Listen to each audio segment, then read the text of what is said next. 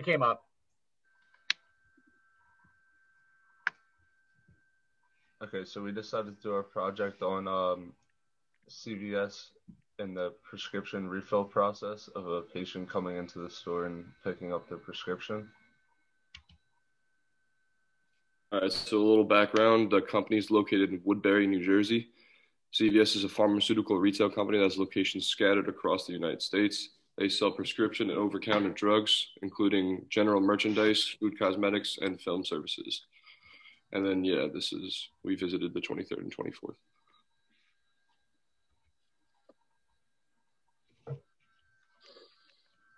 This specific location is one of the company's highest volume pharmacies in the area and is also open 24 hours, which leads to constant long wait times and backed up lines for customers trying to pick up or refill prescriptions. The high volume makes pharmacists and pharmacy technicians rush at work, which can lead to possible delays and mistakes. Uh, in an audit, an error rate of almost 22% uh, occurred, which is 66 out of 305 prescriptions. We believe with better marketing of the company's pre mobile pre-orders and delivery services, along with improved performance by pharmacy employees, prescriptions can be received more efficiently with improved customer satisfaction. So for the problem statement specific, wait times for prescriptions are too long and the errors with refilling scripts occur too often. For measurable, the process for customers coming in stores for prescription refills is constantly delayed because the large amount of customers at the location. For attainable, our group has the necessary resources to accomplish our goal by reducing the time it takes to fill customers' prescriptions. For relevant, the time spent filling prescriptions can drastically be reduced to serve more customers at the location and build stronger relationships. For time bound, our group is looking to receive a better understanding of the business process for CVS in order to reduce the amount of time it takes to refill a prescription within the next four weeks. So, defining the voice of the customers, um, we first needed to see what the needs of the customers were, um, what dissatisfiers, satisfiers, and delighters would be. Um, dissatisfiers uh, were that it would take too long for the pharmacy to uh, fill the prescription we decided that more than one day would be far too long. Um, and if the prescription was not correct, uh, a satisfier would be if the employees refilled the prescription within a day um, and the prescription was accurate and suitable. And a delighter would be if it was uh, managed to be refilled within an hour, which is really hard to do, but what we would shoot for. Um, and then the prescription is fully accurate as well as being effective. So what we saw was that critical to customers would be the speed, um, and that would be within a day. And the prescription accuracy would also be um, critical, specifically that there were no flaws and that the medication was effective. Yeah, so to go over the process map, this is going to be the process of getting uh, a prescription refilled at a CVS store. Um, you know, usually this process will initiate when uh, the customer uh, does a, well, they get a handwritten prescription from their doctor. Uh, or you get an electric prescription, which is also the same thing of going to uh, your primary care doctor and then uh, uh, sending, scanning that to a CVS pharmacy of your choice. And also the mobile also would also scan and send the order to the actual CVS pharmacy. Um, this has to go through a process of, of, of it should if it if of, excuse me of it if it, has to go through process of it, it if it should be there we go if it should be refilled which is in their system and then by doing so it does an insurance check um, and the insurance check um, basically uh, ensures that the you know that that customer has insurance and that it can go and do a DUR check.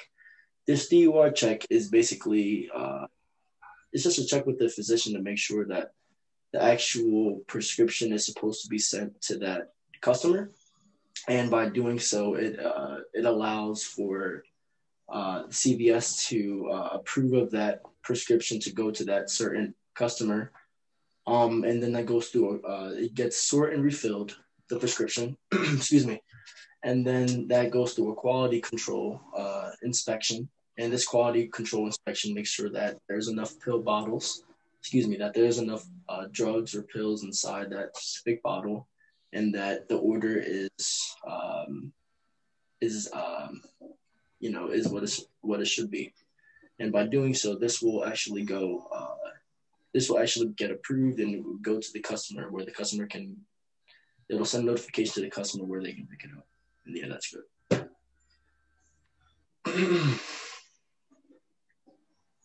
um, and basically for the value stream map, uh, we noticed that the only thing that we uh, that adds value is going to be the sort and fill prescription. Uh, you know, basically the fact that you can sort and fill a prescription, you're going to add value to the uh, not only to the company but to the actual customer because this is the this is the product that they need, and by doing so, this also sends out a metric of you know some type of indicator on how much was uh, was uh, filled for a specific order and how that can overall uh, process that uh, portion of, of the uh, of fulfilling a prescription. Um, and then obviously we have the non-value adding, which is going to be majority of the actual process of getting a prescription refilled.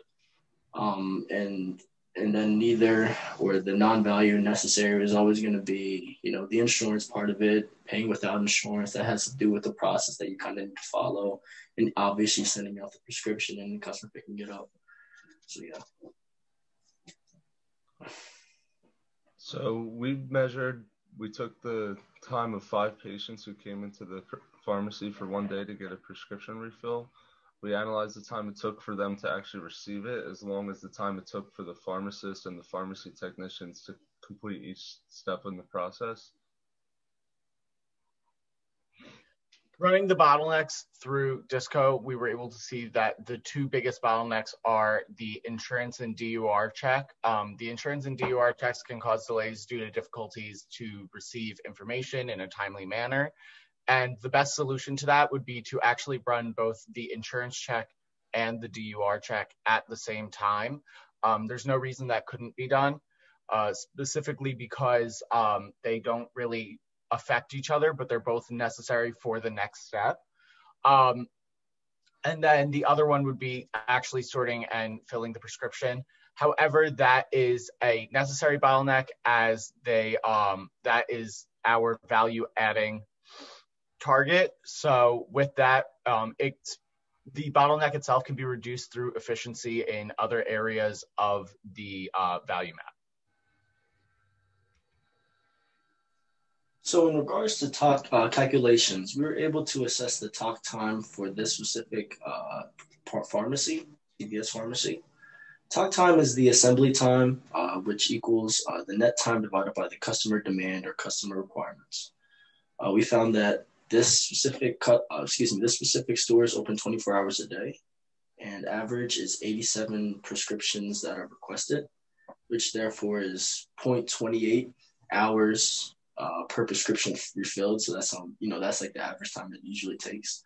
And we were going to find that out by, you know, the refill request, it takes three minutes, refill approval, quality inspection, and you know, by doing so, it gave us a total cycle time of six hours and 58 minutes. And most, excuse me, most of that lead time comes from the inventory, which, you know, obviously is, is a big discrepant to finding out how long your uh, prescription refill will take because if it's not in the inventory, then that has to go from the distribution center, which takes time.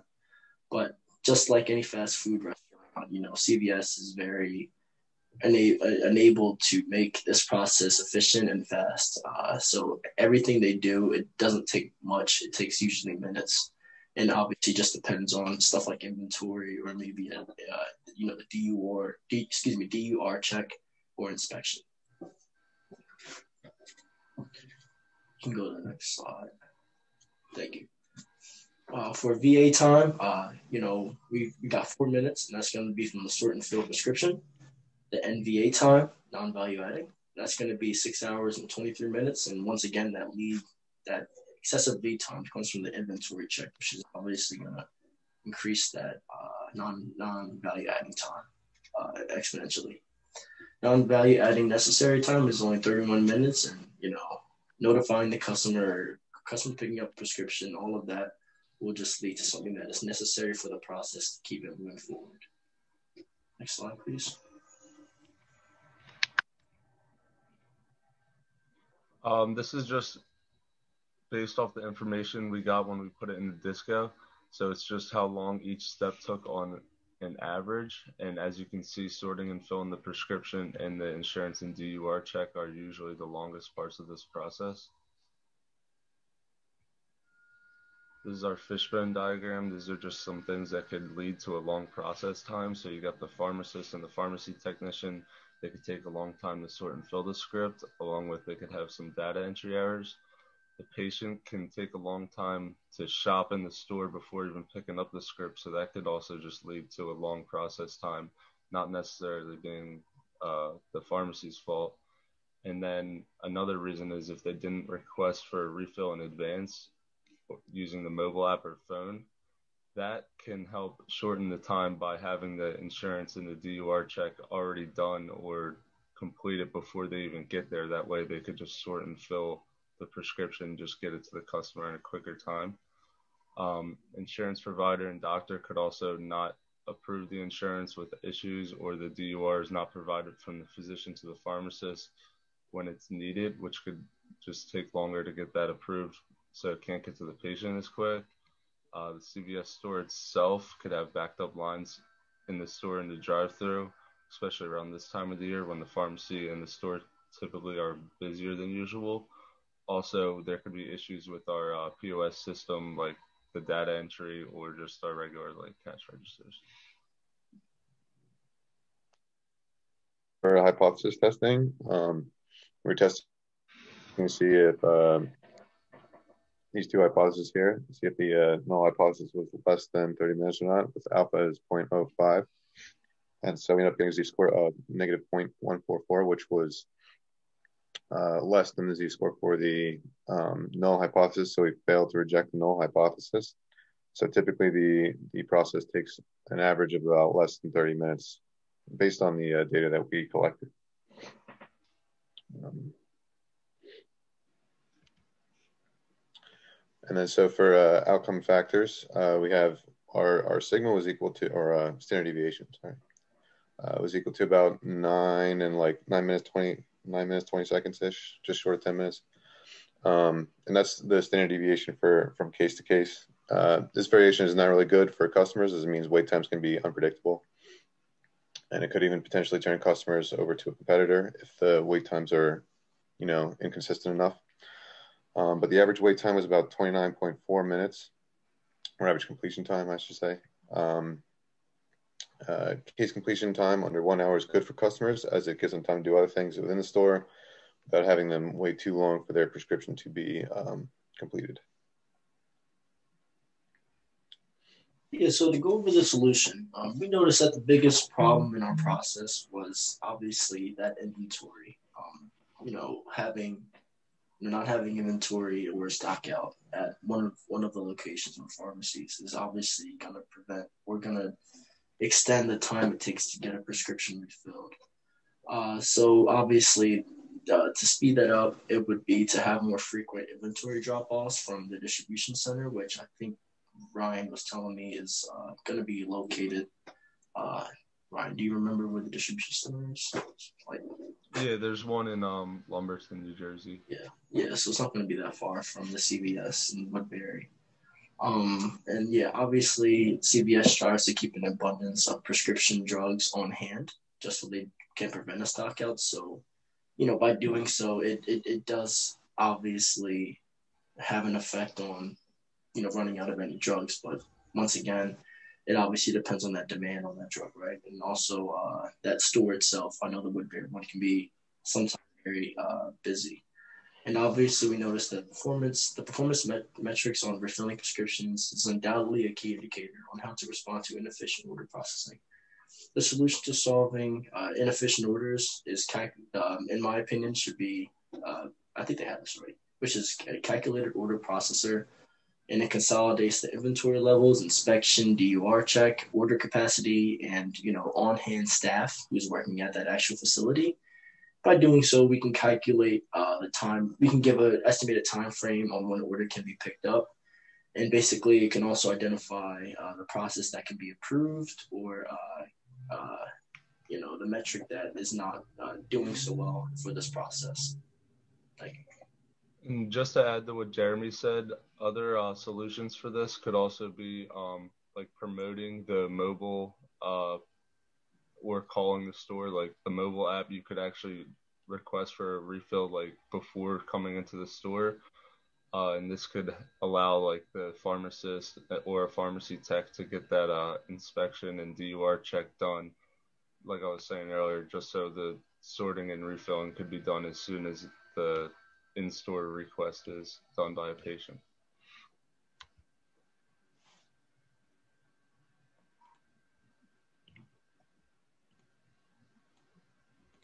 Danny or Aiden, which which one of you guys have this part? Sorry, that was me. I just couldn't see because um the the pictures of the people were in the way. Benchmarking industry practices. Um, so investigating multiple competitors, we saw how they were handling the refilling of prescriptions as well. Um, competitors such as Walgreens and Rite Aid offer similar refill times through their efficient pharmacies with very little error. CVS is close to or right below the benchmark due to its process um, for filling out prescriptions. The biggest issue being the errors that occur occasionally, um, but they are right on line with Walgreens as well as Rite Aid and their other competitors. So cost benefit analysis of what we would do. Um, the cost benefit analysis, the cost would be the time spent training employees on how the new process works, while the benefits um, are much larger with a speed up in the process time, less inaccuracies in prescription refills, and it could bring in new customers due to shorter times. They wouldn't have to wait as long here as they would at other pharmacies. For the to be map, our group came to the conclusion that we have like the best business process that we discovered, and there's no changes that need to be made. But I did clean up the data entry swim lane a little bit to make it look a little more organized, but I didn't really make any changes. Next slide. Uh, some key lessons we learned from this is um, while data collection can be uh, relatively simple, analyzing, interpreting, interpreting the data is often challenging. Um, you know, just because, you know, I mean, you can see a bunch of numbers, but hard to make sense of them sometimes. Um, and data must be collected very carefully, though, because if you uh, draw some conclusions from the data and the data is inaccurate, your conclusions might actually be more harmful than helpful in the long run. And then uh, you've all heard the phrase, uh, if it ain't broke, don't fix it. But, you know, with processes, just because the process works does not mean it's necessarily the most efficient. So you should always be looking to improve and uh, analyze and evaluate your process just to, just to make sure that your company is always getting better. Next slide. So our executive summary, um, the define phase, we um, CVS's prescriptions take too long to be filled with some errors occurring. Um, measure um, the average cycle time is seven hours, um, with the takt time being about half an hour. Uh, we also measured and charted the average times for individual steps. For the analyze phase, uh, we determined that the major bottleneck is the insurance and DUR check.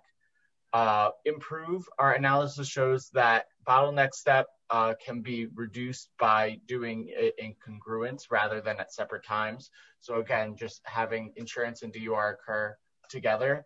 And then uh, control would be um, the process will continue to be measured after the new system is implemented and results will be tracked.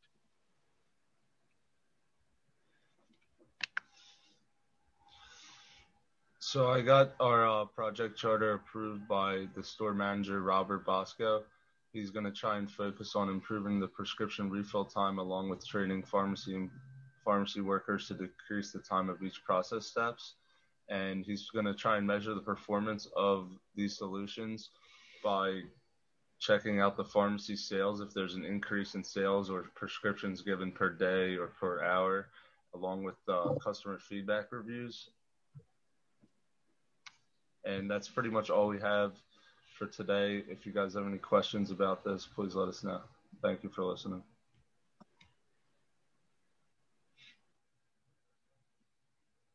Professor, to answer one of your questions from while you were um, asking during the actual presentation, um, there isn't really a way to have insurance and DUR done before coming to the pharmacy unless they um, put in their refill for the prescription. It happens as soon as they put in their refill for the prescription. So if someone happens to put in their refill as they enter the store, there's no way to do it in advance. However, yeah. if they were to do it through the um, mobile or online, we're able to get a jump start on that before they actually enter the store. And that is one thing that uh, my manager did say he was going to try and promote more. Actually, all of CVS is trying to do that right now, uh, promote like their mobile app and delivery available, but that could allow, if you're not getting it delivered and you are coming in to pick it up still, if you do put in the refill request on the app or online or even just calling, that could shorten up the time.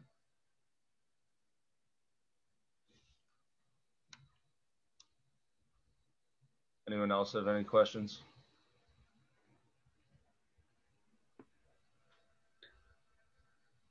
Oh, yeah, Ryan, what about inventory check? Do you think uh, you said an inventory check can take up to four or five hours?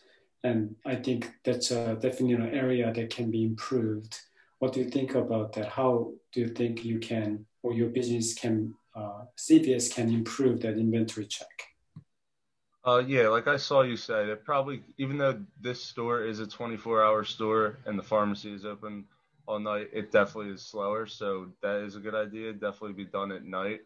However, it is hard because CVS uh, typically holds um, almost $5 million worth of uh, inventory and like drugs in the prescription, which, or in the pharmacy, which is more than like their competitors like Rite Aid and Walgreens. However, yeah, definitely when it's um slower times, inventory check can be done to make the sorting and filling process of when they're actually refilling a prescription uh, quicker.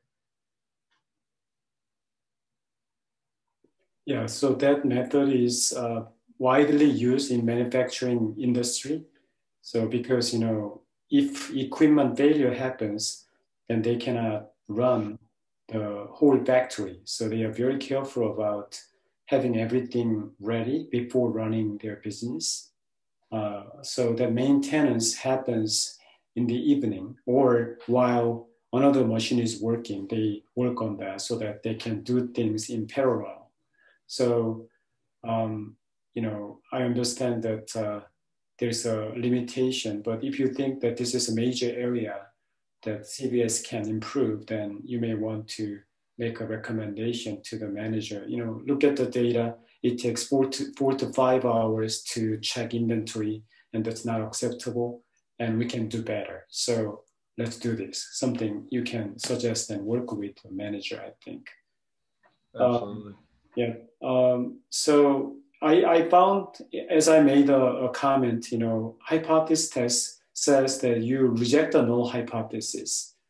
Uh, meaning that uh, your cycle time is less than 30 minutes, which meet your target. However, when I looked at the data, I don't think that is right conclusion because your standard deviation is seven. What, what was the, your uh, standard deviation? 7.5 minutes? believe so. I'd have to check. I thought it was more like 9.3 maybe or something like that. Yeah, 9.3 minutes. So if your standard deviation is 9.3 minutes and your average is 29.5 minutes, I don't think you can reject a null hypothesis. So um, you may want to run the analysis again. You know, uh, equal sign does not go into null hypothesis, but alternative hypothesis. Oh, okay. Yeah. yeah. I'm sorry. I'm sorry. I, I got confused. Yeah, it goes into the null hypothesis. You're, you're right. Yeah. Okay. Okay. Um, so I would like to encourage uh, class to make a comment to this uh, uh, project. You know, can you please make any suggestion or comments? Uh, they have done a very good job, uh, except for a few things, uh, especially the, the to be chart that I, I do think you should reflect the suggestions, solutions into your to-be chart. That has to be definitely done. Uh, other than that, uh, the class can make comments now. I will open it, open the floor for you now.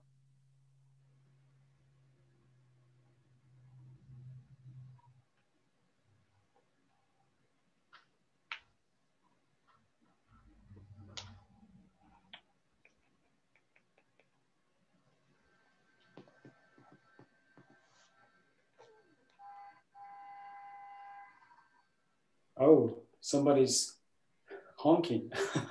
yeah, that's me living on a main road.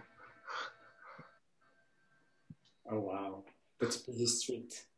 yeah, it's loud. Okay, guys. Um, so if you don't have any comment, thank you for your presentation today. I, I, you know, I, I loved your presentation. I gave you comments. Hopefully, those comments will be helpful for you to revise. And uh, I'm glad that you guys uh, worked hard. Oh, I don't see the video. Did, did you guys include the video and Disco? Uh, we did use Disco. However, for like my SPC charts, I just used Disco to analyze the data, but I just did it on Excel. Okay. That'd be easier just to make the chart on Excel. I see. When we do have a Disco file, we'll submit with the project. Okay, got you.